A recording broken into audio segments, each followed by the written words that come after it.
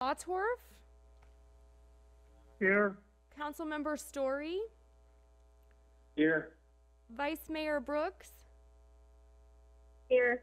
and Mayor Petersen. Here. Thank you. Uh, please rise and join us for the Pledge of Allegiance. I pledge allegiance to the flag To the flag of the of United the States United of United States of America America. and to the And to the republic republic for which it stands, one nation, one nation, under God, under God, indivisible, indivisible, with liberty liberty- and justice liberty. for all. justice for all. All right. All right. Uh, in accordance with the current shelter-in-place order from Santa Cruz County Health Service and Executive Order N twenty-nine twenty from the Executive Department of the State of California, this council meeting is not physically open to the public.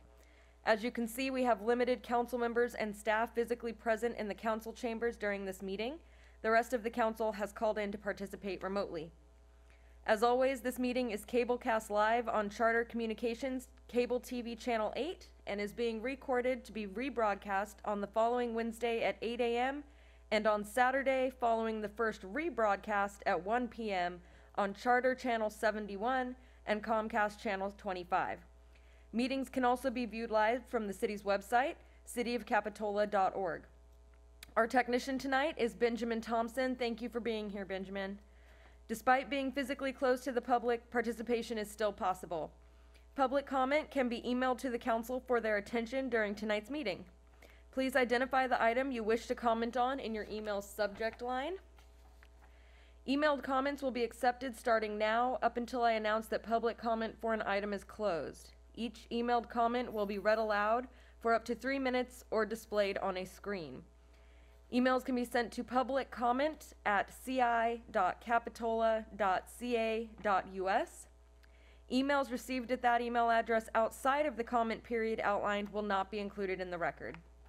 Lastly, we want to thank you for your patience tonight as we adapt to this different way of conducting council meetings for the safety of everyone involved.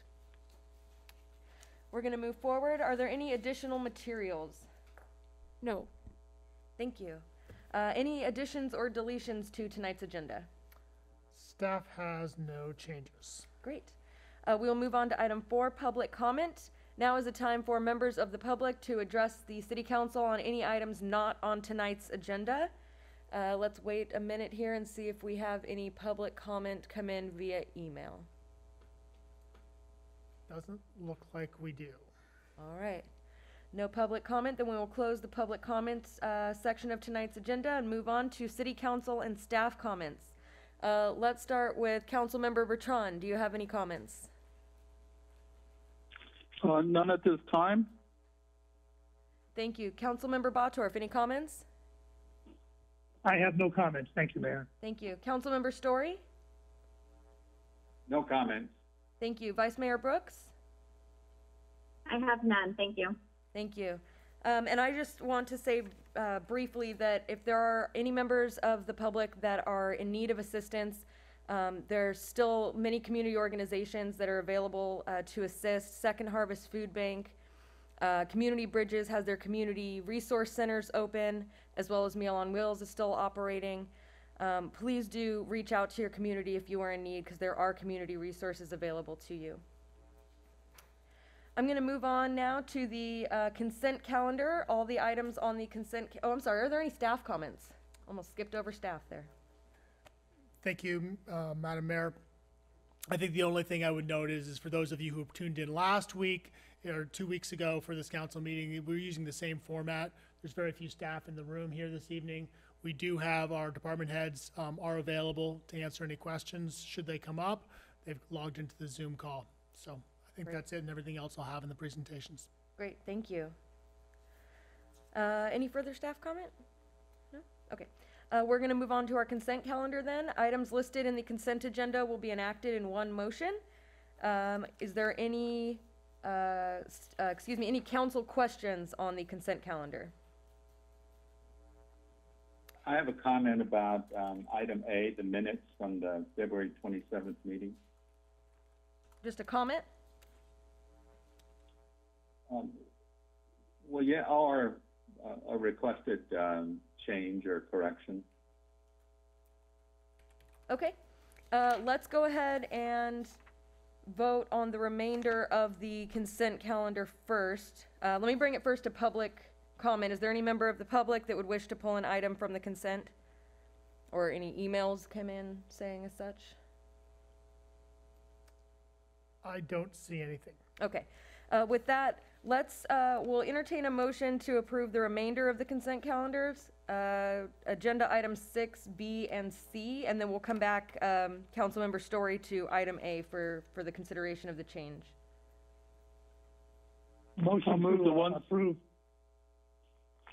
Second, I think I heard, uh, Bottorff and seconded by Bertrand, okay. Uh, all in favor, uh, let's do a roll call vote. My apologies, keep forgetting we're not here to do that kind of vote. No problem. Let's do a roll call, please. Councilmember Bertrand, I agree. Councilmember Bo- Bottorff, Aye. Councilmember Storey, Aye. Vice Mayor Brooks, Aye. and Mayor Petersen. Aye. Thank you. Thank you. Uh, so now we're going to return to item six A on the consent calendar. Councilmember Storey, you said you had a, a requested, um, change? Yes, uh, Mayor, thank you. On item D, um, and it's at the page, top of page nine, um, in the packet. uh, There's a sentence that says, Councilmember Storey would like the city to purchase the carousel. Um, and my recollection was that, um, I wasn't, um, I had reservations, uh, about, um, purchasing the carousel, um, since we had no stated, uh, purpose for it. Um, and I think I expressed that, and, and that statement seems to be, um, fairly unambiguous, that I wanted the city to purchase the carousel, and I don't recall that, uh, reflecting back on the meeting. Councilmember Storey, I, I was not present at that meeting, but I will double check and take what you just said, and I will amend the minutes appropriately. Yes, thank you. I think if you go back and just check the video, No problem. um, there was, yeah. So Great. That's the, that's the only, uh, change that, uh, I, uh, had. Okay. Okay. Are there any, uh, further comments on consent calendar, uh, item six A? If not, we'll, uh, entertain a motion to approve item six of, or six A of the consent calendar. Also moved. With, with the amendment? With the amendment, yes. I'll second. All right, we have a motion and a second. Can we get a roll call vote, please? Councilmember Bertrand, Aye. Councilmember Bottorff, Aye. Councilmember Storey, Aye.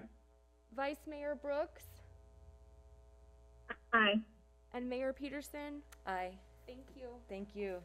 All right, we're gonna move along to item seven, general government public hearings, and we'll begin with seven A, an update on the COVID-19 emergency declaration.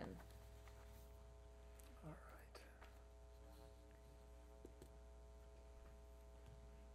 I think I have to do this in the proper order here.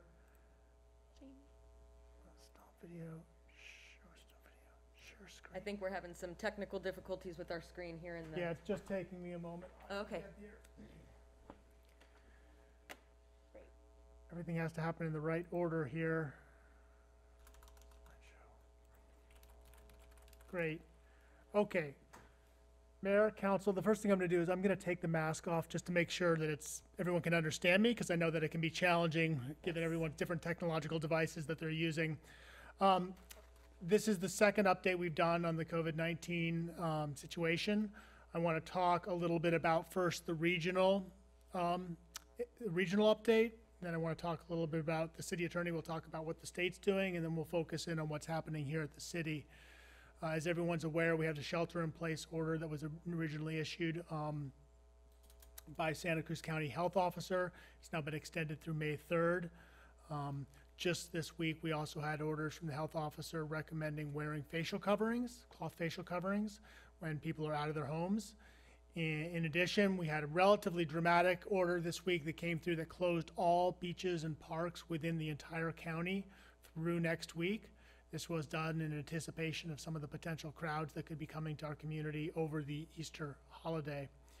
uh, and the Santa Cruz County Public Schools will remain closed through this, through this year. Um, wanted to share with you some data, some stats. I think everyone knows that I'm a bit of a data freak, so I will try to keep it relatively short, but this is a summary of sort of our regional status. This is information that can be found on the county's website, which is a great source of information. They did a recent update to the website, much more user-friendly format with a lot of data. They show that the total number of known cases in the county is 80, 13 of which repo- required hospitalization. That is not the number of people that are currently in the hospital. I believe that number is currently about half that figure. And it breaks the cases down by age and known gender, as well as underlying conditions. Also on that page shows the number of new cases over time. And I think this is one of the data points that I think is helpful. If you can see my mouse right now, I'm showing, this is showing the number of case, the positive tests that we've had over time. And you can see that we have not had a spike that the, normally when you look at these sorts of curves, they show this sort of dramatic exponential growth. We've seen a relatively flat curve, which really goes to show the work that this community has done in terms of social distancing and trying to do its part to slow the spread of the virus. This is some other information that I presented at the last meeting, and I thought I'd share an update on it. This is from a website, Unacast, and they're pulling um, data from people's cell phones that show how much they're traveling. And then they give a score for every county in the state, as well as all the states in the country. California as a whole is getting a B right now. It looks like Santa Cruz County, we're at a B plus. Um, a lot of the coastal communities are doing pretty well. Interestingly, it's the first time that I've seen that the Bay Area counties were leading the way. What this chart on the bottom shows is over time, the sort of average amount of time that these phones traveled and how far. And it shows that starting right around May 13th, 14th, that we started to see a drop in travel and all the way down to where we are today, where that figure is hovering around minus 50 to 60 percent of the normal travel. And then in addition, you can see up here are the number of new cases in the state. And again, it's a similar um, pattern, maybe not as a, a dramatic as, as in our county, but you can see that with a typical exponential curve, you'd expect to see this number way up here by now, and we haven't been seeing that, and the number of cases has not spiked in recent days. Another data point I wanted to share is this is cumulative cases by county throughout the state. This is from the LA Times, and it shows all of the different counties and the different curves. And this is going back to when they first had their 20th case, and then how many cases they've had cumulatively over time. A steeper a curve, the more vertical it is, the worse a community is doing, because it means the cases are doubling more qu- quickly. A flatter curve is better. It shows that the cases are growing much slower. Um, one of the good pieces of news is here, as you can see, Santa Cruz County, and Santa Cruz County is actually on the lower end of the trajectory for all the counties in the state, and shows that it has a doubling time at this point of approximately once every two weeks. And again, I think that's a testament to the work that our community has done to try to really observe the new rules um, and the health orders issued by the health officer. Next, I'll turn over to uh, Samantha Zutler, the city attorney, and she's prepared to give a little bit of an update on what's been happening at a statewide level uh, on the crisis. Sam, Thanks, Jamie. Um, can you hear me? we can. Okay, great. So, I, you know, it feels like every day is a year in some ways, and so it feels like things have moved so quickly. But one thing I just realized is we have not met since the governor issued his executive order on it was March 27th. It seems like a year and a half ago. Um, it, prohibiting evictions, and he he did that the night after or the day after the evening in which we, the city of Capitola, adopted an urgency ordinance prohibiting commercial and residential evictions. Um, and his order was a little different. His order prohibited, it extended the deadline in which a tenant who is served with an eviction lawsuit has to respond to that lawsuit for 60 days. And so the effect of that was essentially to prohibit just residential evictions for 60 days. Um, so that happened on March 27th. Then on three day, it was Monday of this week, the Judicial Council issued a set of 11 emergency rules. And one of those emergency rules is, I think, the most dramatic um, action on evictions we have seen to date. And that emergency rule was the first emergency rule. The effect of it is to essentially prohibit evictions from 90 from now until 90 days after the governor's stay-at-home order is lifted. And that judicial rule applies to residential and commercial evictions. Um, the governor's order and the city of Capitola's ordinance require that the to take advantage of the protections that the eviction be related to an inability to pay due to medical expenses or COVID-19. The um, rule by the Judicial Council does not include such a limitation.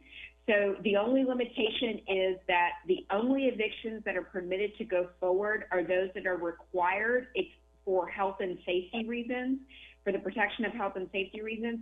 No other evictions, residential or commercial, are permitted permitted to go forward from the date the Judicial Council issued the rules, which I think is it was April 6th, to 90 days after the governor's stay-at-home order is lifted. Um, the Judicial Council, one of their rules also applied the same restrictions to foreclosures. Um, so those were issued on April 6th. Also, on just recently, the governor, the governor's office has issued a flurry of orders. Um, one of the most interesting, I think, was issued on earlier this week. It was April 3rd, and it um, prohibited price gouging. There's already a statute on the books in the penal code that prohibits price gouging after an emergency declaration is issued by the state, the feds, or a city. And that statute already says that um, certain businesses cannot, including hotels, for instance, and businesses that provide uh, supplies that are necessary to deal with the emergency cannot raise their prices by more than 10% within 30 days after the emergency declaration is issued. That's um, that regulation, that statute has been on the books for a long time. A lot of cities relied on that or even um, strengthen that after the recent fires. What the governor did here was strengthen that prohibition. He extended the protection date to September 4th of 2020. He also broadened it to include all consumer goods. The price on consumer goods cannot be 10% higher than the highest price on February 4th, 2020, unless there are, unless it's for a specific reason enumerated in the order. So that's my update. There's a lot going on, but I think that's the highlight. All right, Sam, thank you.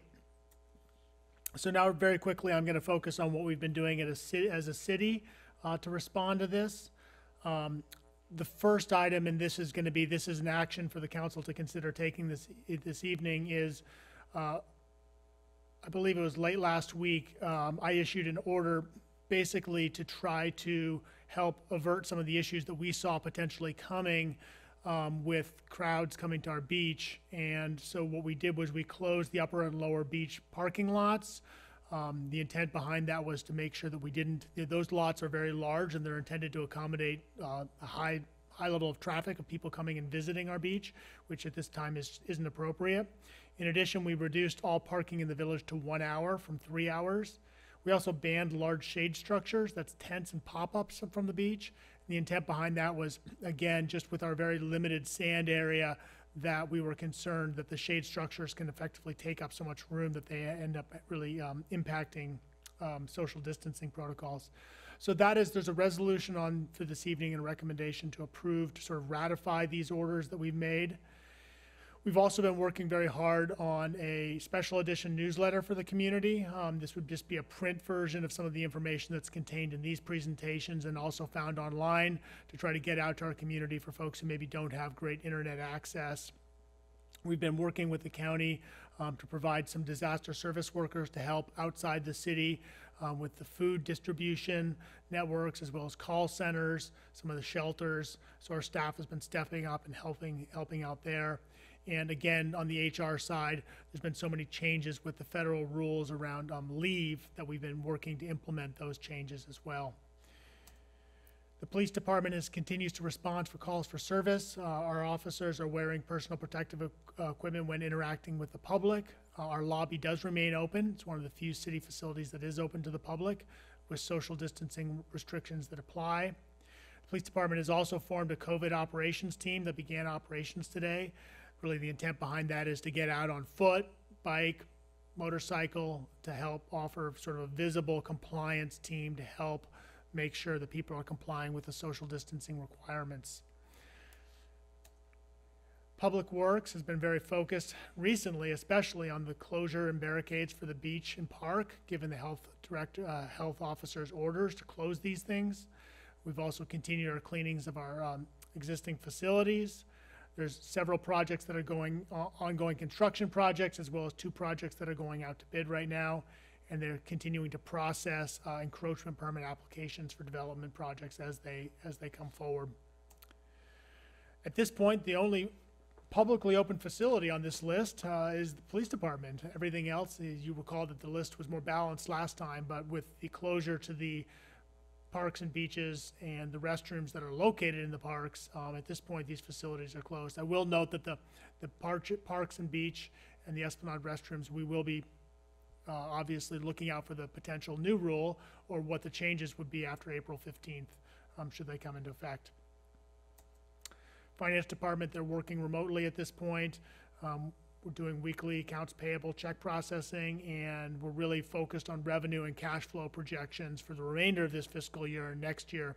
Because uh, as we talked about last time, the fiscal implications uh, of this are going to be very significant for the city. And so we're developing models and, and alternatives for the city to, to consider future meetings, um, what actions we can take to help avert, um, avert the worst of the impacts. Planning Division, they held a planning commission meeting last week, fully remote. Similar process as what we're doing this evening. They received some public comment by email, and uh, by all reports, it went well. Building Division is continuing to, oh, one of the important things that came out in the updated shelter-in-place ordinance was the number of construction projects that were allowed to proceed was significantly pared back. So we've developed a list of all the uh, active essential construction projects that are taking place at this time. Uh, the building inspector is doing proactive patrols to make sure other projects aren't taking place, and the police department has been made aware of the list, and so that they know which projects are supposed to be um, being worked on at this time and which ones are not.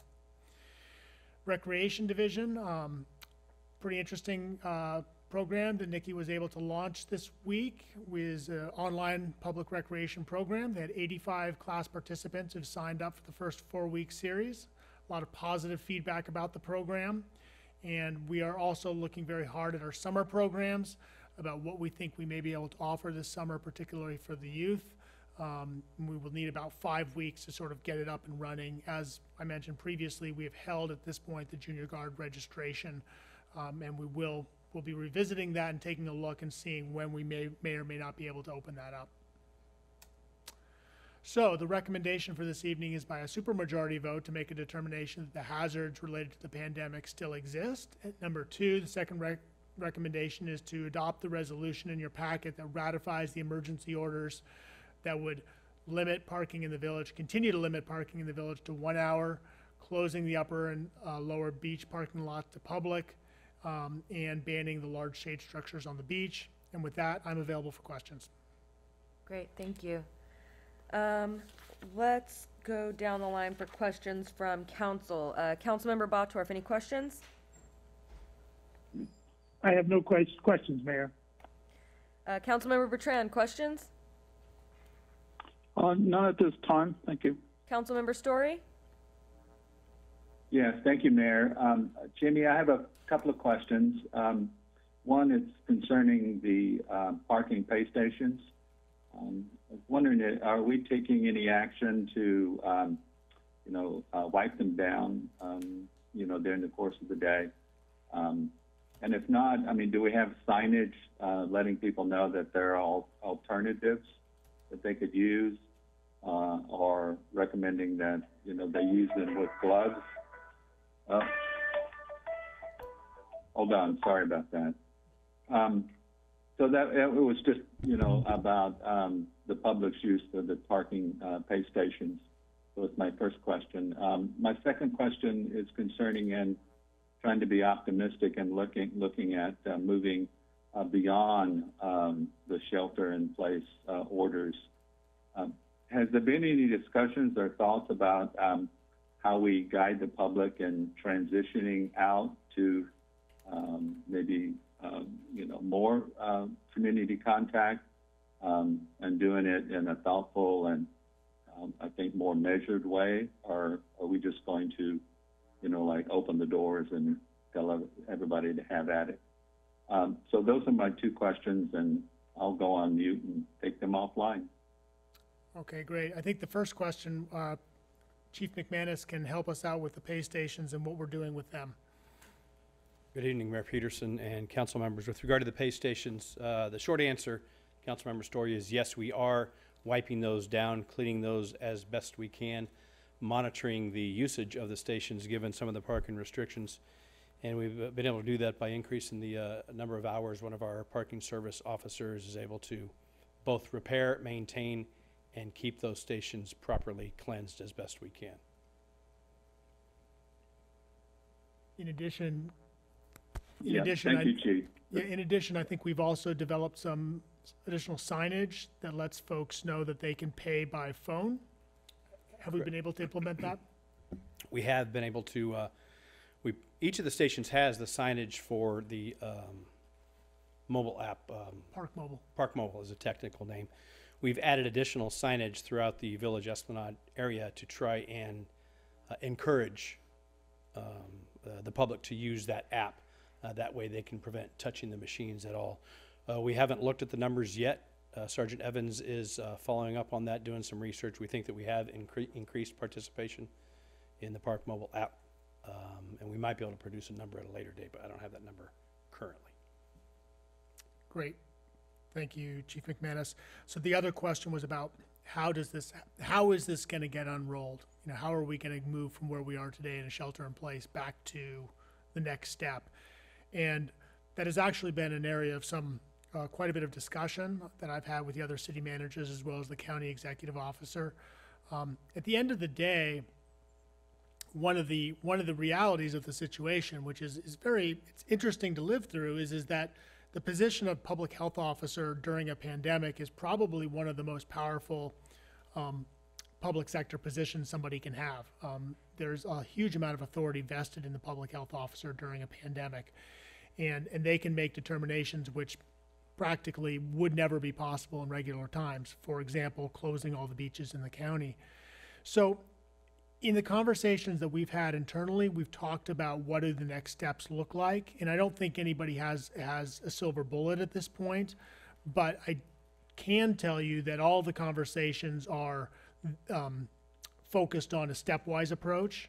That what really would need to happen is is that there would be some iterative lifting of some of the restrictions at times, so that maybe the list of essential businesses would expand, for example, or the allowed types of construction activity could change, and and doing it in a stepwise fashion and continuing to monitor the data to understand what that's doing to the um, the growth curves of the virus. So I don't have an answer to how it's going to work. I can tell you that the conversations are taking place, and at the end of the day, it'll be up to the health officer to issue those orders, and then us to help at a city level to help communicate with our community and enforce those orders um, as we move forward. Thank you, Jamie. Um, and I would just ask this, you know, maybe you could keep us informed as these discussions evolve and conclusions are drawn finally about um, how we're going to start to move away from uh, the shelter at home. But thank you. I can do that. Thank you. Vice Mayor Brooks, any questions? I do. Thank you. Um, I have three questions about your um, the presentation itself, um, City Manager. The first question is um, if you can just go back and uh, let me know what the data site that you were using um, with all of the graphs. I, I think you mentioned it, but I missed that. Um, secondly, how many staff of ours actually are being used or um, working with the county? Have has anyone actually moved over to to support the county? And then the last question is about the comments um, at the bottom of your slide. It says to comment on this uh, email, the public comment. And is that something that's new? And are we, um, are the city council members receiving those comments as well? And those are my three questions. Thank you. Okay. So the first question, um, we're gonna go back and look at the, the data. So this slide and this slide come directly from the Santa Cruz County, uh, Health Department's page on COVID-19. This page comes from Unacast, and the way I always find it is by typing in Google, and you can see the URL at the bottom of the page. I just Google that term at the bottom, social distancing scoreboard, and it pops up. This, these data are from the LA Times, and the URL is at the bottom of the page, and it's just a, a tracking site that they have that shows sort of how the different counties are faring in terms of cumulative number of cases. The next piece of your question was how many of our employees are currently serving as disaster service workers? My understanding is it's three right now. And then the last part of your question was, please remind me, I'm sorry. About the public comment. Oh, the public comment. Yes, so the public comment, when we get to that, when we get to the end of the questions, I will put up on the screen any public comment that we do receive, and we'll read it. Um, we'll read it into the record as well as display it on the screen so you can see it. Thank, thank you. So that's the email for for council meetings themselves, not up all of the time, or is that available for folks to email anything? So that's, that's intended to be for public comment during the meeting. Thank you. All right. Thank you. Uh, if there's no further council questions, uh, we will bring it to public comments. Okay. So we'll see that email address in action here. While we wait to see if anyone has emailed us with public comment on this item. And Doesn't look like it. doesn't look like we did. All right. Uh, seeing none, we'll close public comment for that item and bring it back to the council for, uh, dis- further discussion and a vote. Uh, let's start with, um, Councilmember Storey. Do you have any additional, uh, discussion? I I have no additional discussions, and I'll make a motion to approve the staff recommendation. Thank you. Uh, Councilmember Bottorff, any additional discussion? Uh, no additional comments, and I'll second that motion. Okay, count, we have a, a motion by Councilmember Storey, a second by Councilmember Bottorff. Councilmember Bertrand, any additional, uh, comments? Yeah, no, I appreciate uh, the city staff and Jamie in particular being uh, aggressive on the actions that we're supporting here. Great. Vice Mayor Brooks? I have none. Thank you. All right. Uh, with that, we have a motion and a second. Uh, can we do a roll call vote? Councilmember Bertrand, Aye. Councilmember Bottorff, Aye. Councilmember Storey, Aye. Vice Mayor Brooks, Aye. and Mayor Petersen. Aye. Thank you. Thank you. Motion carries unanimously. Uh, we're going to move on to item 7B, a report from the Santa Cruz County Regional Transportation Commission on an approved Measure D amendment and Highway 1 projects. So this item is, is um, on the agenda at the request of Councilmember Bertrand, who's our RTC representative. And I believe we have Guy Preston on the line. And Guy, if you're ready, I'm prepared to, Guy Preston is the executive director for the RTC, and I'm prepared to staff, uh, to man your, um, your presentation. Just give me your cues. Uh, Thank you, Jamie. Um, Good evening, council members, and thank you for the opportunity to present here today. Um, um, This, as uh, Jamie stated, this, uh, this um, presentation was at the uh, request of um, your council member Bertrand, who I refer to as Commissioner Bertrand, because uh, he serves as one of my 12 commissioners, as does uh, Commissioner Bottorff, who you know as council member Bosworth, but um, he is uh, one of my 12 commissioners as well, and they represent Capitola very well. Um, um, with that, I uh, think I'm ready for you to advance to the next slide. So I'm here today to talk to you about um, Measure D, and um, Measure D um, expenditure plan um, provided for uh, 25% of, of revenue to be allocated to um, to uh, the highway program. But um, starting from the very beginning, November 8, 2016, uh, the voters of Santa Cruz County approved the Measure D ordinance, enacting a retail transaction and use tax dedicated to making transportation improvements. The ordinance includes an expenditure plan and a requirement that the Santa Cruz County Regional Transportation Commission, in its role as the Measure D authority, shall allocate, uh, administer, and oversee the expenditure of all measure revenues which are not directly allocated by formula annually uh, to other agencies through an implementation plan. I'm ready for the next slide. So the um, expenditure plan outlines the use of measure revenue di- distributed across five investment categories. The investment categories are consistent with the regional transportation plan and improve mobility, promote sustainability, and improve safety regionally. There are five categories. Uh, the neighborhood and street projects um, represent the biggest pot, and that's shown there in fuchsia um, at 30%. Uh, transit and paratransit receive 20% of revenues. The highway corridor, which we're here to talk about tonight, um, receives 25% of revenue. The rail corridor receives 8%, and the active transportation um, category receives 17%. Next slide.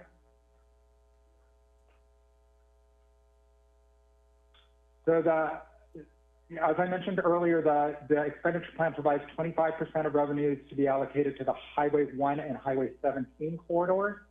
Um, and their projects are to increase uh, the safety and efficiency of these corridors in Santa Cruz County. The highway corridor investment category of the expenditure plan states that highway investments included in the expenditure plan improve traffic flow and safety on Highway 1, especially for South County and Mid-County commuters, small businesses, uh, bus riders, and first responders um, by adding auxiliary lanes. Um, it also allows for bicycle and pedestrian crossings. Um, the auxiliary lanes are identified as lower cost highway projects that can improve flow by separating entering and exiting traffic from the through lanes and can help improve the safety on this high traffic volume corridor. Um, we also um, are allowed to use expenditures for traveler information and traffic demand management, which we do primarily through our Cruz 511 program. And the highway quarter investment category also states that programs that reduce fatal injuries, collisions on highways, and reduce congestion are funded by measure revenue. Next slide. So although Measure D provides significant funding to deliver regional investments identified through the expenditure plan, it was not intended to fully fund all investments. Section 9 of the ordinance states that leveraging or matching of outside funding sources is strongly encouraged. When the ordinance was written and adopted by the voters, there was limited and unreliable state and federal funding sources. In 2017, the California State Legislature passed and the governor signed Senate Bill 1, also known as the Road Repair and Accountability Act, and that increased transportation funding by an estimated 52.4 billion over the next 10 years. There's several key competitive grant programs included uh, that RTC plans to target for various different um, uses, including the Active Transportation Program, which um, provides $100 million per year to um, agencies that are successful in uh, securing those grants.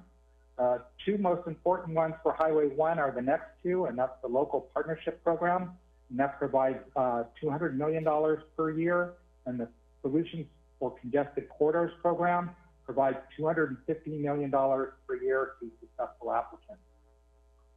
Next slide. So um, after uh, the Senate Bill 1 passed, uh, RTC was concurrently working on um, a, uh, a, feasibility study. Actually, um, on June 26, 2018, the Monterey Salinas Transit and the Santa Cruz Metropolitan Transit District completed a project report and feasibility study on bus on shoulder operations for State Route 1 and the Monterey branch line, identified a hybrid lane bus on shoulder project on State Route 1 between Morrissey Boulevard and Freedom Boulevard interchanges as a sustainable and cost-effective way to provide meaningful benefits to transit riders in the corridor. Next slide. Meanwhile, um, RTC was working on uh, trying to identify all the um, investments um, that um, the county kind of wanted to do regionally. And on January 17th um, of 2019, the RTC adopted its Unified Corridor Investment Study, which identified a preferred scenario of improvements on three east-west corridors, including the highway. Next slide.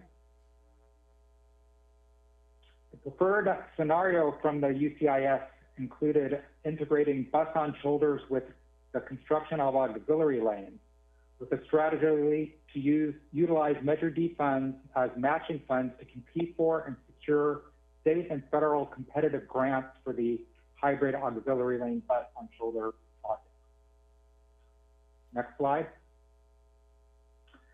So uh, RTC worked with um, um, the CHP and uh, Caltrans and uh, Santa Cruz Metro, and um, on May 23rd, 2019, it completed a report for the State Route 1 Auxiliary Lane Bus on Shoulder Concept of Operation, which represents a hybrid auxiliary lane bus on shoulder facility extending from Monterey Boulevard to Freedom Boulevard. And uh, uh, Caltrans and the Highway Patrol both supported this project, um, and um, this fulfills a key requirement of the legislation which allows bus on shoulders. And as you can see in this slide in this picture, it kind of explains what, what we would be doing. We'd be building auxiliary lanes between the interchanges where the ramps come on. The, the blue um, uh, colored area is an auxiliary lane. Um, it shows it extending from an on-ramp to an off-ramp. And then uh, the bus would be allowed to travel in the yellow area, which would actually be the shoulder that goes underneath uh, one of the overcrossings. And here we show one going underneath 41st Avenue. Next slide.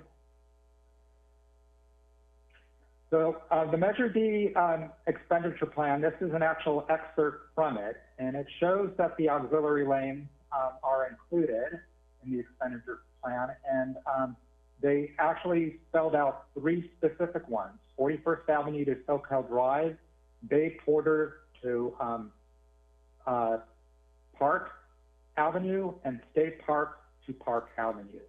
I'd also mentioned uh, bicycle and pedestrian overcrossings, and then you see down there at the bottom the highway safety and congestion reduction program.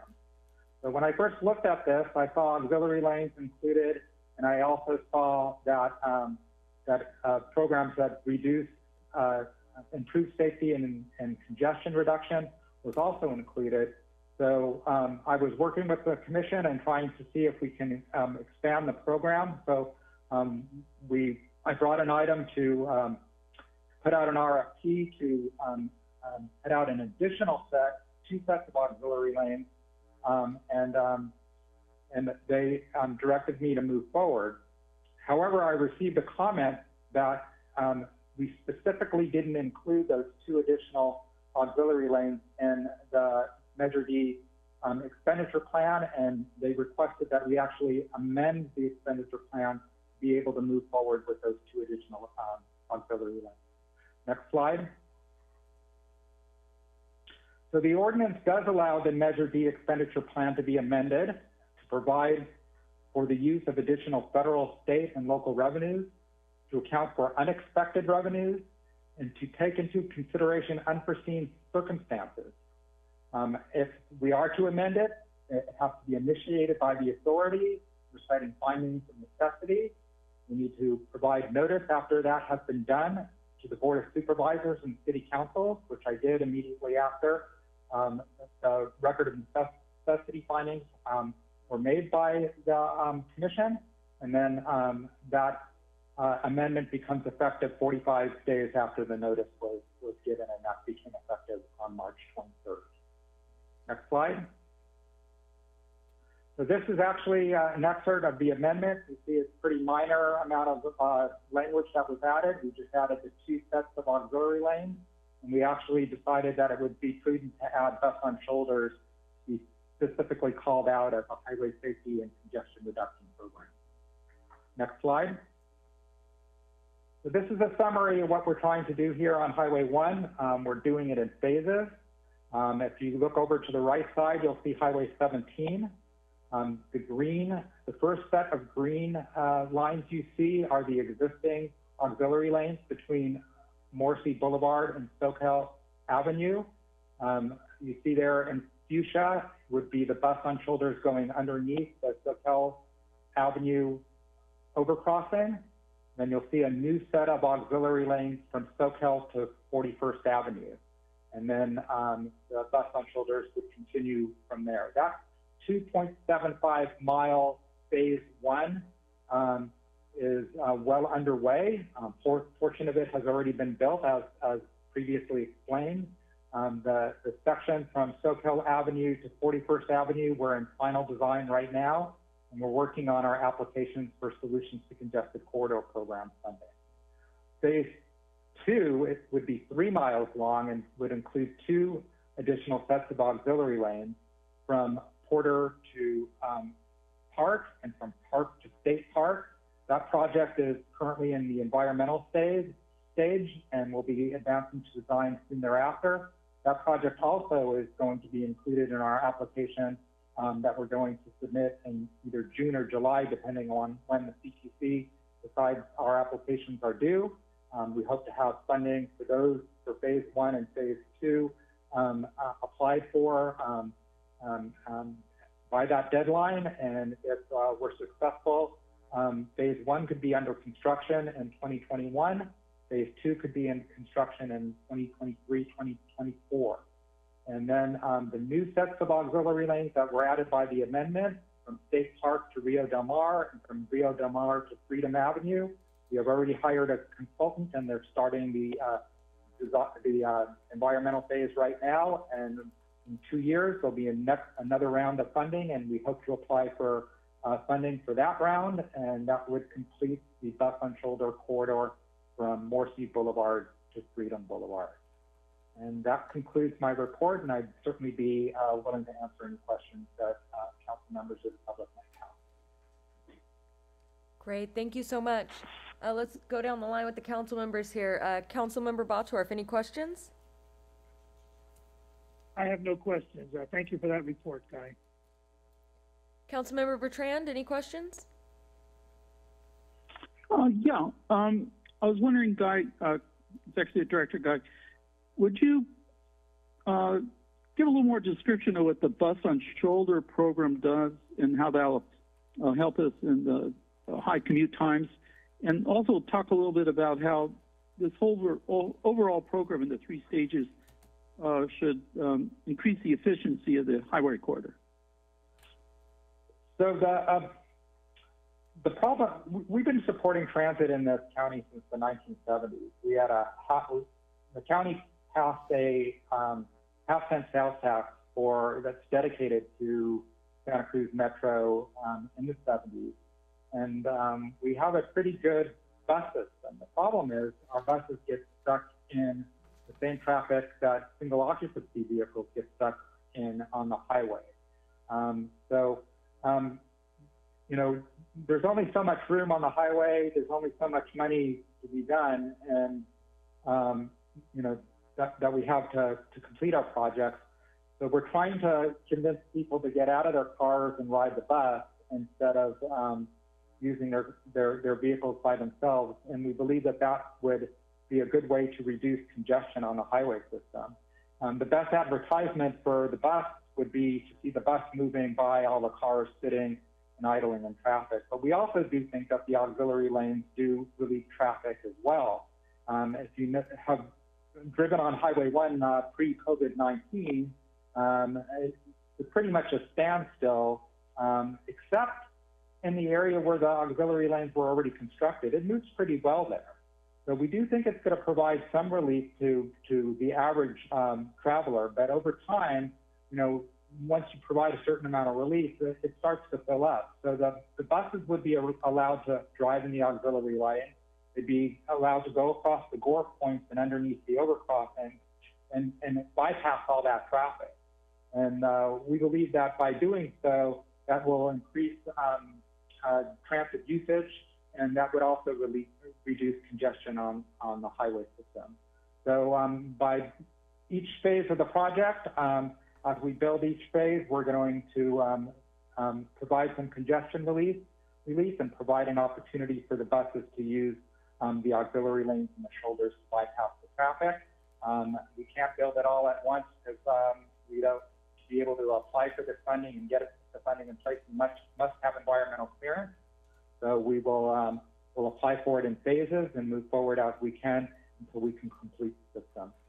Um, I don't know if that answers your question. If not, let me know and I'll uh, see if I can uh, provide any more details. No, I, I, no, it does, and I, I think it gives a pretty good idea how the bus is with the additions of the auxiliary lane and the bus on shoulder is going to help considerably. And I like your comment about the advertisement. And, and, you know, one of the things that's really important about applying for this funding is to propose the sorts of projects that uh, California Transportation Commission is looking for.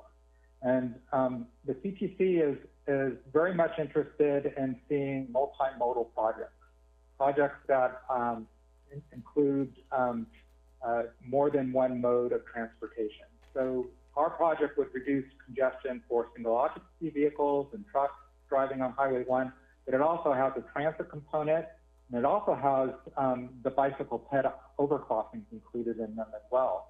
We have one at Chanticleer Avenue. We have one at Mar Vista. Um, we're also um, going to be replacing the bridge at uh, Capitola Avenue, and the new uh, bridge at Capitola Avenue and the, the city of Capitola will um, have bicycle lanes on it. Um, so we find it to be very attractive. Um, the, the new project that we added from uh, uh, um, State Park to Rio Del Mar includes the two railroad bridges, and those are going to be replaced with uh, longer bridges to accommodate the auxiliary lane. Um, that'll provide shoulders in those locations where there currently are not no shoulders. So um, that's going to improve safety and um, allow emergency vehicles a place to go. If we're ever in an emergency that's uh, different than this one, where we're asked to stay home, one that requires us to evacuate, we will actually have additional width on the highway system, so there's a huge safety component in it as well. Um, they're looking for innovative projects and projects that um, that kind of think outside the box. And um, every single meeting that I've gone to statewide and talked about this project, um, it's been extremely popular.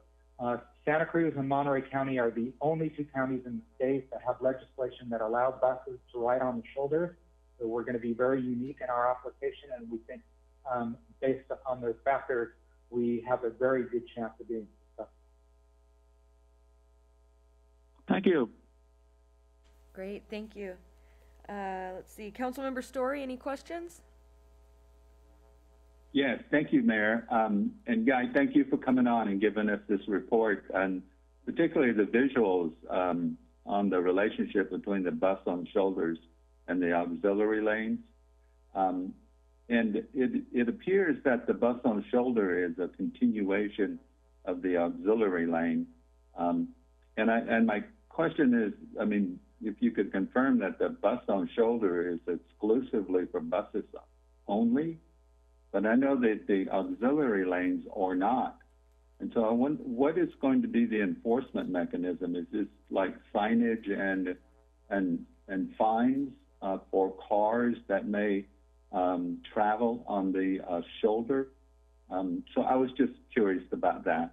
Yeah, we've been working very closely with the CHP um, and Santa Cruz Metro. Um, we are going to have significant signage out there that shows that buses are only permitted on the shoulders, and the shoulders that they're using are only um, under the existing overcrosses.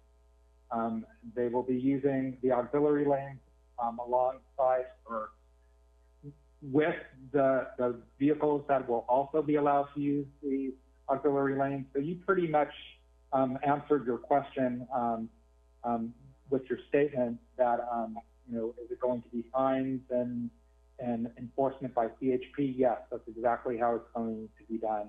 Um, we don't really think that there's going to be too much abuse. Um, I think it would be pretty obvious um, that only a bus is allowed. You know, I know that there's abuse with HOV lanes. Um, those are the high occupancy vehicle lanes that you see. But, um, you know, it's very hard to tell with those high occupancy vehicles if there's a small kid in the back or if there's, um, you know, if they have an exception to ride in, in the HOV lane based on them being an electric vehicle. But um, when you're riding under the overcrossings, only buses are going to be permitted. And uh, we do think that um, most of the public would comply. And if they don't, uh, CHP is looking um, towards enforcing, and we are looking to provide um, paved areas for the CHP to um, um, park in, and so that they could um, be very visible and enforce the the, uh, the requirements um, of the law, which would not allow the vehicles to ride underneath the overcrossing on the shoulders. That's good. Thank you. Great, thank you. Vice Mayor Brooks, any questions? I have none, thank you. All right, great. Um, with that, we will bring it to, uh, public comment. Have we received any, uh, emails from the public on this item? And refreshing, Looks like we did not. seeing none. All right, we will close public comment for this item. And this was just an informational report, so there's no additional action, correct? That's correct. All right.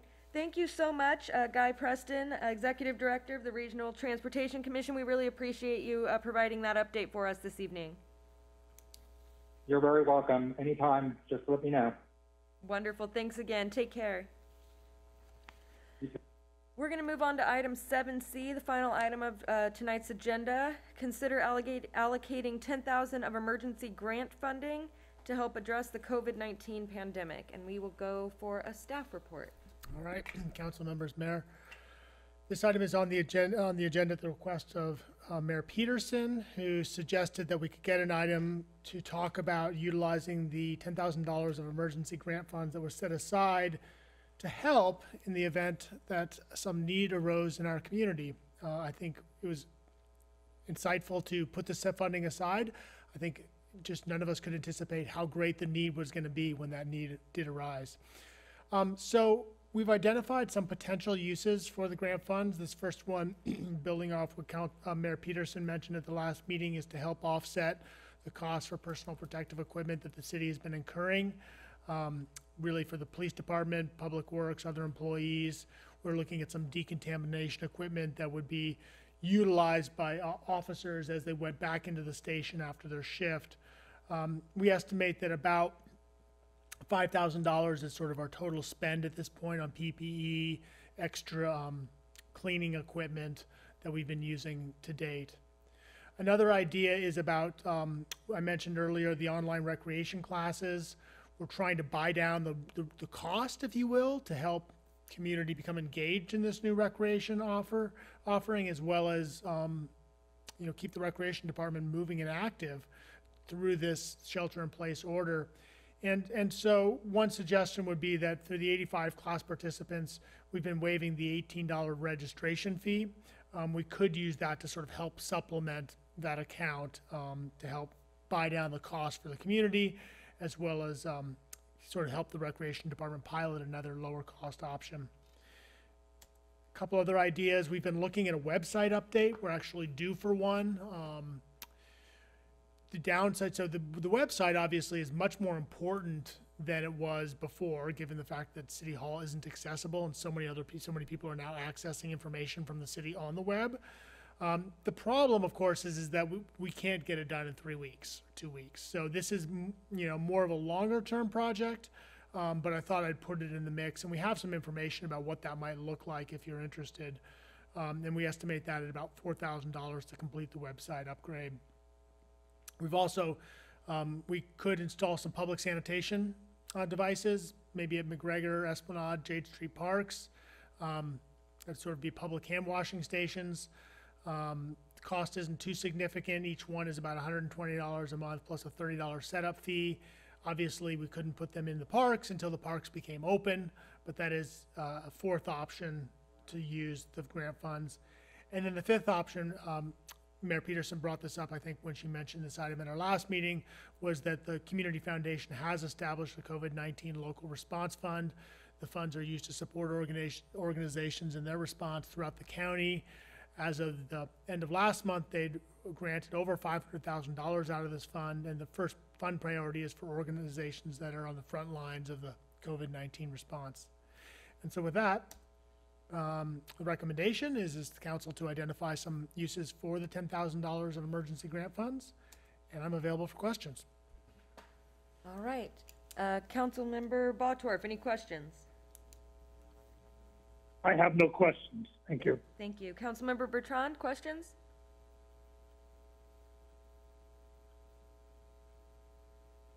Right. So uh, how, how how fast can we act on the improvement of the website? And um, I agree with you. This is a long-term benefit to the city. Um, can you give me a, uh, expand a little bit about what um, we'd be working on? So I'm going to turn to the clerk who's been spearheading this effort. So the question was, is, is could we fast track the website update? Um, and are there any options to, to get that down, or is the three to four months really the minimum you think it would be necessary? From discussions, um, can you, can everyone hear me? Yeah, I can hear you. Okay, great, thank you. So from discussions I've had with um, our staff and with our representative from our website um, manager, the three months is is a short period of time compared to what they have discussed. Um, so that would be the soonest I think we could get a really really nice product for the community up and and ready.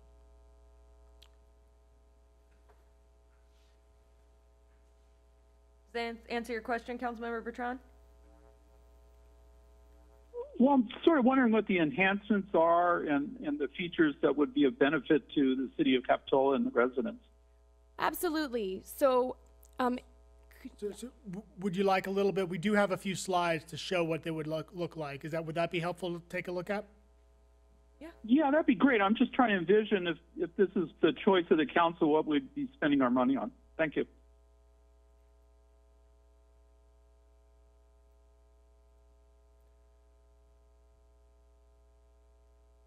Okay, so thank you, um, council and mayor. I think we're all aware that our website is a little old. It could be revamped. This has been something we've discussed for a while, but like our city manager said, um, City Hall is closed. Most people are getting information they need from our website, so it's very important that that information is clear, easy to access. A, a, a significant thing is that it should be mobile friendly so that those can access our information on their phones, not just on a laptop or personal computer. And something that's close to my heart is that our social media accounts could be better integrated into our website. So at this point, I hate to say that our website is a little confusing, it's text heavy, there's a lot of information, which is wonderful, but it's a little hard to navigate. So I have some examples here. Um, there's too much text happening. If you click through, that'll become more apparent. And yes, there's, I believe there's too many steps. For example, to get to our Instagram page from our website, there's not one, not two, not even three, but four clicks where there could be one. So, what we do want, as I said, is clear information that's concise. Um, I feel it's important for that to make sense to people that don't work for the city or aren't super familiar with the way we run public meetings, for example. So, how can we use keywords and logical explanations so that you know anyone can really get the information they need? And it should be pretty. So, here's an example. This is a revamped website, that exact same fee that we would pay the 4000 um, that the city of Los Altos had gone through with the same provider that we use. As you can see, there's a very clear, obvious bar there at the top that has COVID-19 information. If you click, if you were to click on that, the next slide shows a very nice, this is a little small just for our screen, but a clear page with, with links that are embedded in the first page, not hidden at the bottom, as our website is now, um, for all different information takes you to, to the appropriate resources based on the current emergency. So, the, pro- yeah, Do we want to, that Sure. would be, yeah, that's the example I have ready. Um, off the top of my head, I have a few more cities that have gone through the same process, but I think we can agree this is a good thing to do, just maybe not right now. That's of course up to, to you. Thank you. Um, let me see, who was that? Councilmember Storey? Or who was I, who was asking that question? Bertrand, thank you. Uh, did that answer your question, Councilmember Bertrand? Yeah, I think that gives me a good idea. Um, obviously, I've had some issues with our website, so I'm glad the city's addressing this. Great, thank you. Councilmember Storey, any questions? Yes, can you hear me? I, Yes, we can I've had hear a little technical difficulties, but um, I- had a question about the hand washing stations. Um, and I just, um, are the bathrooms at the Esplanade in Jade Street Park, uh, uh, have they, or will they be open? Um, will the hand washing stations be in the bathrooms or outside of the bathrooms? And are the bathrooms available for hand washing? Steve, are you online? Do you want to answer that?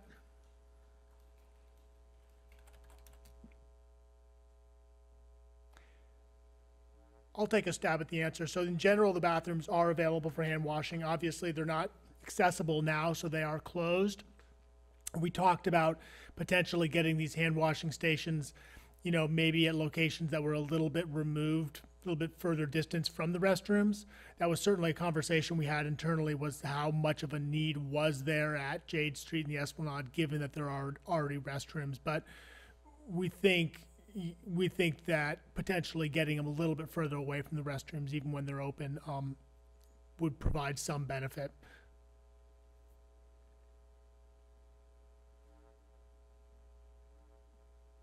Does that Okay, answer? thank you. All right, thank you. Vice Mayor Brooks, any questions? I have none. Thank you. All right, thank you. Um, I thought I had a question. But maybe I don't. So, um, we will bring this to public comment. Did we receive any emailed public comments on this item? the wrong thing. Do a quick send and receive to make sure. It's interesting, the planning commission got, I think, three or four public comments. but, Wow, You know, they must have, uh, hot topics on their I agenda. guess so. No, it doesn't look like we got any public comments. All right. Uh, seeing none, we'll close public comment for this item, bring it back to council for a discussion and a vote. Uh, we'll start down at the other end, or who would be at the other end of the table tonight. Uh, let's start with Councilmember Storey. Do you have any additional comments? Oh, oh, yes, thank you, Mayor. Um, yes, I just wanted to express, um, you, coming out of this, um, pandemic, um, I think that we're gonna have some significant fiscal issues before us. Um, and I think I would, would have us rather wait, um, on how we, uh, expend money until we see, uh, what those fiscal issues are going to be, the depth of them, uh, and what all the needs will be before us uh, at that time. Um, with that said, I think it would be appropriate to spend the five thousand dollars for the PPE um, because I assume that's probably uh, supplanting general fund money um, uh, that we're um, would be using, um, and um, and also the hand washing stations, that, that's a, that's kind of a minor expense. Um, so I think I'd, I mean, I'd leave that to staff whether they felt that that was, uh, a- a needed service that we needed to provide. Um, but in view that, you know, we have the bathrooms at Jade Street, uh, and at the Esplanade, um, and if we just made sure that, um, they were stocked with the necessary soap, um, um, and drying um, paper towels or the or the drying machines. Um, and uh, but at you know McGregor when that opens up again, um, I don't know that we have anything um, there suitable, so that may be appropriate. That's a smaller amount, um, but you know, I think that I would like to see us uh, hold off on um, any of the uh, other expenditures. Um, and, and that's not an expression about their worthiness. I think they're all very worthy. And at some point, uh, we need to address them. Uh, but I think at this time, I think that we need to look toward addressing uh, some significant fiscal issues that may be confronting us. Uh, so those are my comments. Thank you. Thank you, Councilmember Storey. Uh, Vice Mayor Brooks? Yes, thank you. Thank you, Mayor Petersen, for bringing this um, forward to the attention of for the uh, to the rest of council. Um, I would agree for the most part with Councilmember Storey. Um, I think that there that it is hard to weigh out what um, what our actual financial needs will be when we come out of the shelter in place and even further down the road. I think that the funds should be utilized for directly for um, for the PPE, the 5,000 there, and then be released to the rest uh, to uh, the general fund for at the discretion of staff to decide where to supplant the, the rest of it um, afterwards. So those are my comments. Thank you. Thank you. Uh, Councilmember Bertrand? Yeah, um, I think Sam's actually correct that we will have uh, financial issues coming up, but um, the immediate issue right now is personal protection, and I think the last meeting I talked about that, especially for our police department. So, in general, I think we should provide that protection. We may not need 5,000. I would support um, a measure that said, you know, as as we need it. Um, I don't want to be short of money for that particular concern. Um, maybe we could put signs up to remind people that there's bathrooms, and they could definitely go into the bathroom at Jade Street Park or at uh, the Esplanade and, and wash your hands there. Um, the other reason why I think um, we should expand on the website is, as Sam brought up earlier, uh, we're going to have to do a lot of work, I think, if we engage with our community, especially if we make that effort to prepare uh, City of Capitola for all the developments that are going to be unfolding as we get out of this crisis. Um, it's probably going to be quite extensive, the different things that the public will want to know about. So, from that perspective, I think we should have a website that is very easy for people to use. Um, the people in this town are going to look to us to help be a main source for that kind of information. And I think this website development would be very critical in that regard. So I would support the 4,000 for that for sure. Thank you. Thank you. Councilmember Bottorff?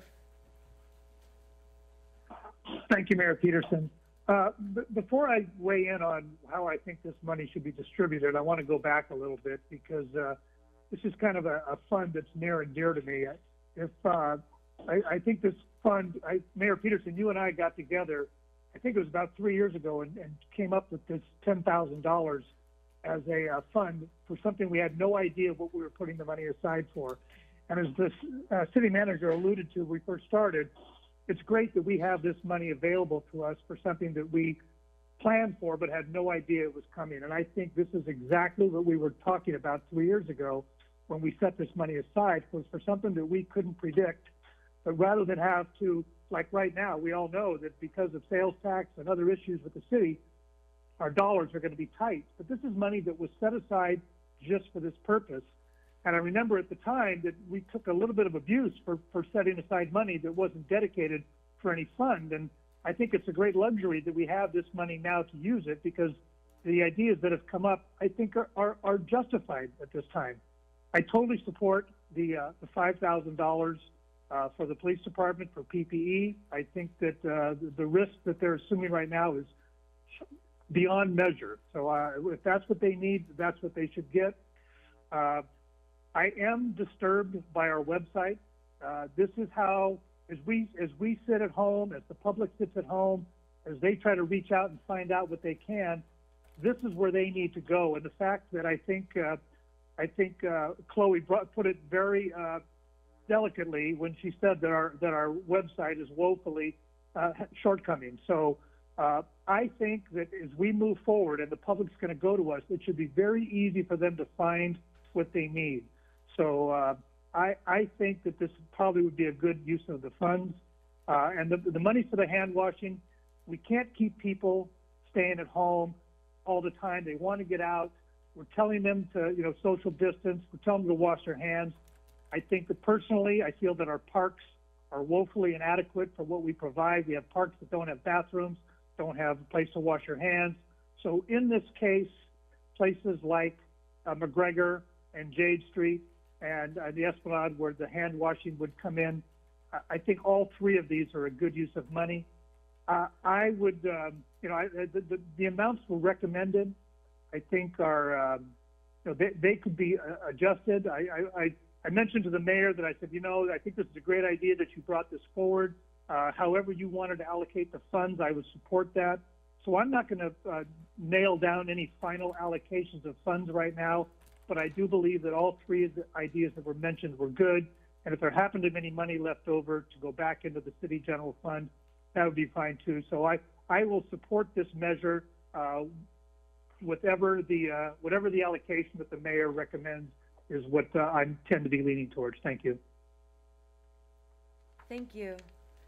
Um, okay, so it sounds like, um, I- would agree, and it sounds like all the four of us, uh, all the rest of the council members would also agree, uh, that we feel that the personal protective equipment is, uh, first and foremost, uh, one of the important things for us to spend these funds on to ensure that our first responders, our police, our fire, um, are, are safe as they're out continuing to do their essential services and, and keeping the rest of our community, um, safe and protected.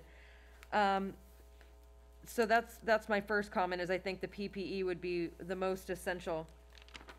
Um, I'm, I'm split, uh, on the remainder. I agree that we're probably gonna be facing some financial difficulties when we come out of this, and we're gonna need to, um, consider how much of this emergency fund we might want to save until that time.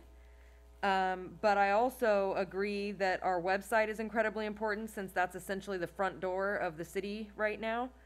Um, that the hand washing stations are uh, vital. Um, once our parks reopen and, and we have more people out in the community to have those kind of sanitation stations would be uh, very important. Um, and I'm also intrigued by the um, the virtual recreation that it was for a virtual recreation correct yeah um, because uh, for as long as this shelter in place stays in order i think if we're asking people to stay in their homes as much as we can do to encourage them to do that um, and provide them some kind of recreation that's beneficial to uh, mental health during this time i think would also be very important.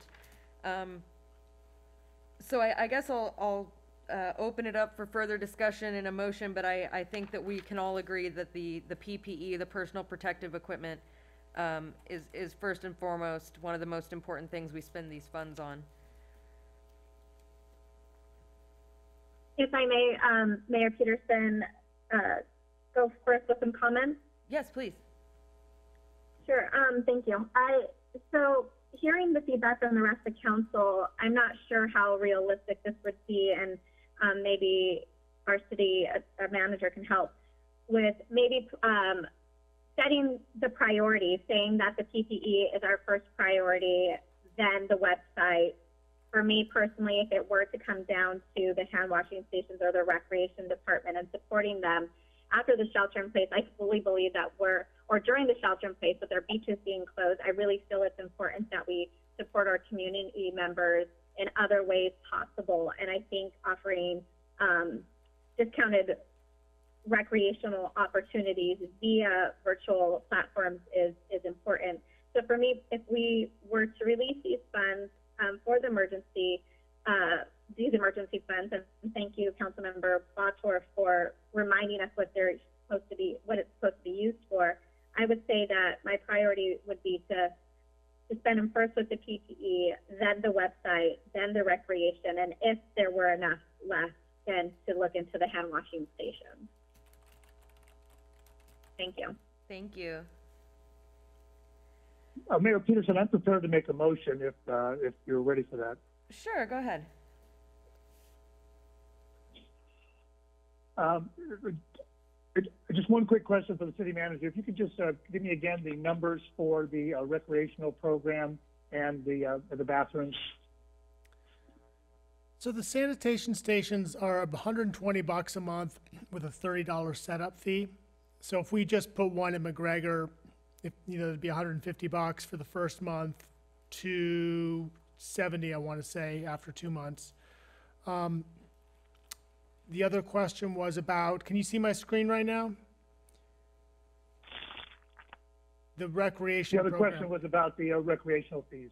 Right, so the recreation program. So the recreation program right now, I mean, we, we in, in order to help drive recreation, we were rolling this thing out pretty quickly, this online rec class.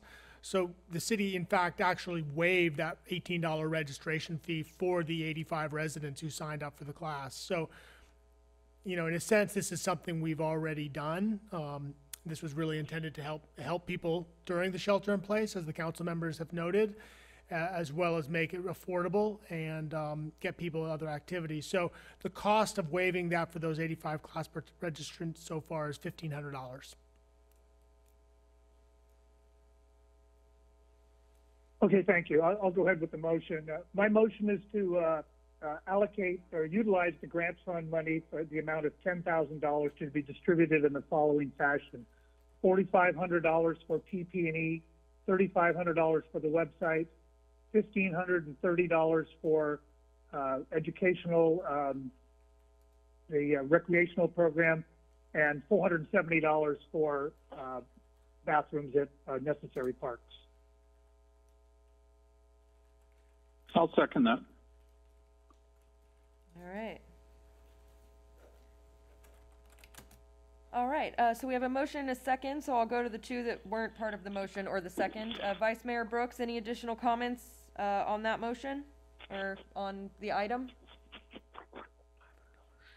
I have none, thank you. Okay, uh, uh, Councilmember Storey?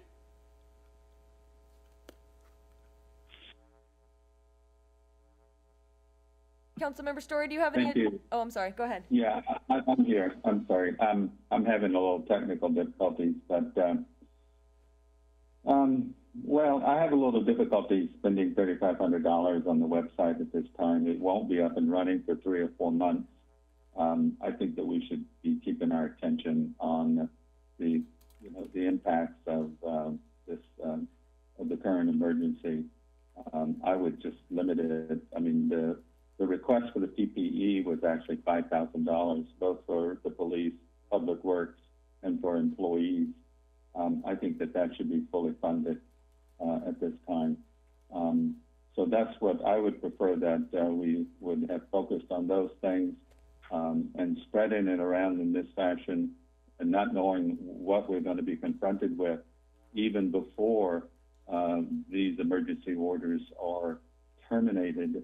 Uh, this all seems rather feels premature to me. Um, and so for that, um, I'm not going to support the motion as it's stated. Thank you. Thank you. Uh, Councilmember Bertrand, any additional comments?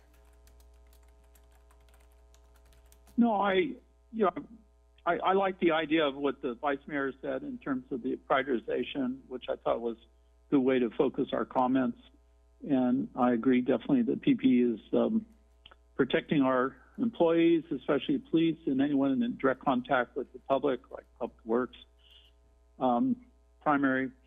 Um, I agree with Sam that the um, website um, won't be out very quickly, but I think by the time we get this done, we will be in the midst of trying to engage with the public and making sure that they engage with um, the city and trying to move forward. We have so much to do, get our commercial sector going, um, getting the regular activities of our village going. I think the website will be very critical at that time.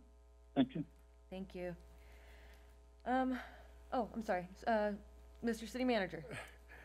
Uh, Mayor, Council, th- one point that we didn't make during the presentation as we were talking about the website is if we do include funding to the website upgrade, we think that potentially having a council member assigned to a subcommittee that could help kind of guide the process could be valuable.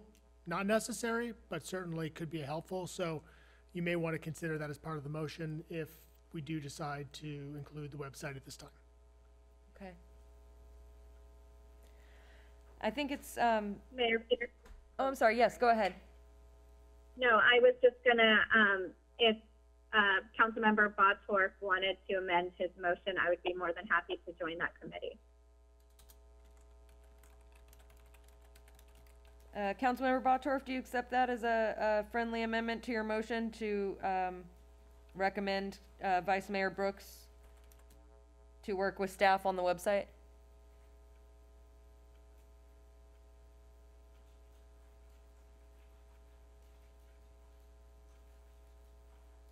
Did we lose him? Ed, And I think your microphone might be muted.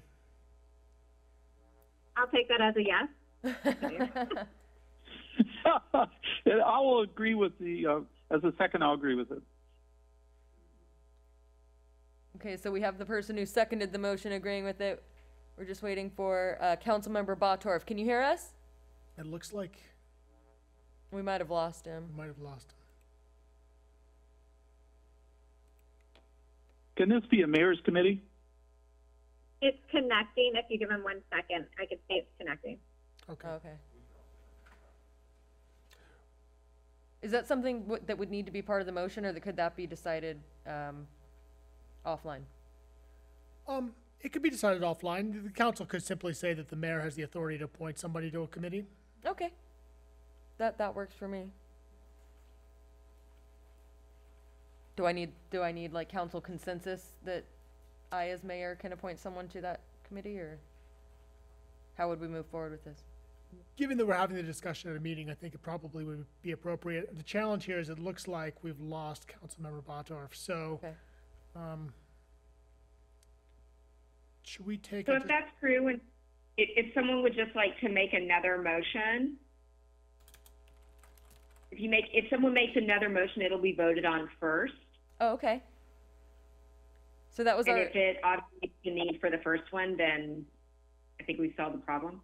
great. Sure, I'll make a motion, um, similarly to Councilmember Bottorff for note sake. I think Chloe has those. Um, the addition I would add is to ensure that, um, the recreation, uh, the recreation and the hand washing stuff is for the extent of the shelter in place. I don't know if that needed to be said, but I just want to make sure that's noted.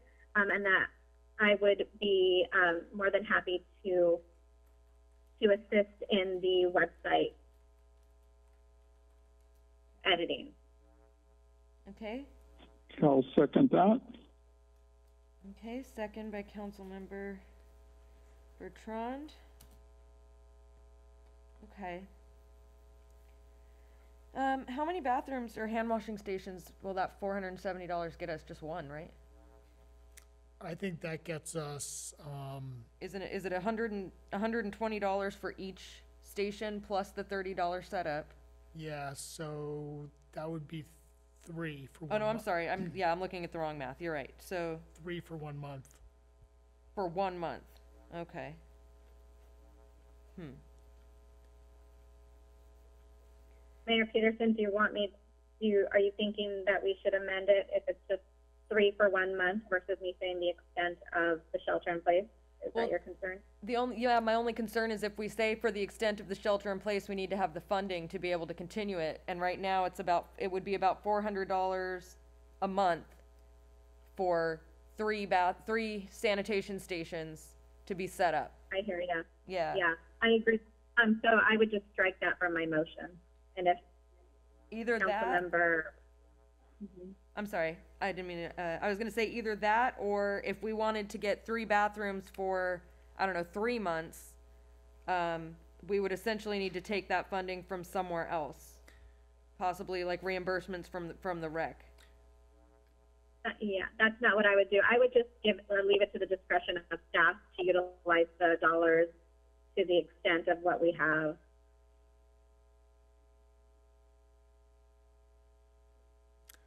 Okay, so what I'm hearing is, is it was thirty-five hundred for the website, fifteen hundred dollars to help out with rec, and then I think the remainder, although I don't think there is any remainder with thirty-five hundred dollars plus fifteen hundred dollars, oh, the PPE, Yeah, I have forty-five hundred for PPE, thirty-five hundred for the web, with Yvette serving as a council liaison. Correct. Uh, fifteen hundred dollars for the rec department, and it leaves, or fifteen thirty for the rec department, and that leaves about four hundred and seventy dollars for bathrooms, so that's about one month. Or, or sanitation stations, not bathrooms, excuse me. That's about one month, uh, with three locations, For the three for the locations. three locations, yeah. Um, I mean, as a recommendation, I think, you know, the, the This is recreation, Councilman Bottorff. Can you hear me? hey, yes, welcome back. you're back. Sorry for the technical difficulties. Uh, I, I just want, before you get too far down the road, I, I guess, not sure if the other motion is already on board, but it sounds like it's consistent with which what I had, which is fine. Yes. And, and there's a challenge here. There's only ten thousand dollars. And, you know, I, I think it's just, we give the guidelines on the motion for the amounts and the, the city manager adjusts it as needed. You know, maybe you don't need all the money for PPE, maybe you need it for the bathrooms, but I think there's enough of a guideline to get some essential things with all that we have. Yeah. I That's just agree. my, my, my, my two cents. I agree. Um, uh, so, uh, Councilmember Bottorff, when, when you were off the line, Councilmember Brooks, uh, made an additional motion that was almost exactly the same as yours, but we did that, um, cause we weren't sure if we'd get you back, and so now Councilmember Brooks's motion will be voted on first. Um, Councilwoman I would Brook- like to withdraw my motion if I can. oh, you're gonna withdraw it? Yeah, so then, Okay. um, Councilmember Fox can finish. Thank you. Okay, so Councilwoman Brooks, And, and I'm okay with the friendly amendment for Councilman Brook, or for Vice Mayor Brooks to be on that committee. Okay, so Councilmember Bro- uh, Vice Mayor Brooks has withdrawn her motion. We're back to, uh, Councilmember Bottorff's motion with, uh, the amendment that Yvette be added to the committee. Would, would there be, um, a, a willingness, uh, Councilmember Bottorff and Councilmember Bertrand who seconded it, um, for the interest of ensuring that all of our needs are met, to say that, that we as a council are, um, agreeing to expend this ten thousand dollars and we recommend that it be spent in this manner as Councilmember Bottorff laid out, and that way, if there's any need for the city manager to rearrange some of these funds accordingly, um, to ensure that all the city's needs are met, that, that they would have the ability to do so. Does, would that seem appropriate? Uh, if that's an amendment, that's a friendly amendment, I think that's a good guideline to give, to to give the city manager. Okay, I, I agree with the guideline. Thank you. okay. Uh, does the city clerk have the motion as, I know it got a little complicated for a thank you. second there. Okay, um, I'll just give a, a period of, of silence for just a second here to see is there any additional council comment on this issue? Hearing none, we have a motion and a second. Can we have a roll call vote, please? Yes. Councilmember Bertrand. Aye. Councilmember Bottorff. Aye, and thank you for all your patience. Councilmember Storey. No, Vice Mayor Brooks. Aye. And Mayor Petersen. Aye. Thank you. Uh, motion carries, uh, four to one. Uh, that brings us to the end of night's, uh, tonight's agenda. Thank you so much for all the council members and all the staff that joined us tonight, uh, via the Zoom meeting. Thank you to the staff that's here in the room practicing social distancing and wearing our face coverings as is recommended now, uh, for health and safety of others, uh, and of ourselves. Um, thank you to our police and our fire and all our first responders and everyone on the, the front line. Please take care of yourselves and take care of each other. Uh, be safe and be well. Meeting adjourned. Thank you. Thank you. Thank you.